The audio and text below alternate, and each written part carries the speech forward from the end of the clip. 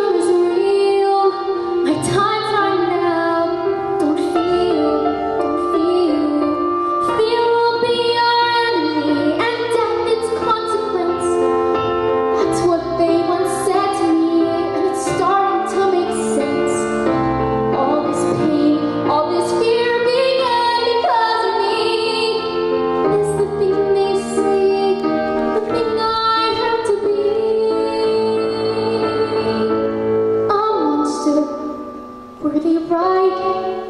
Has the dark in me finally come to light? Am I a monster full of rage, nowhere to go but on a rampage? Or am I just a monster? What do I do?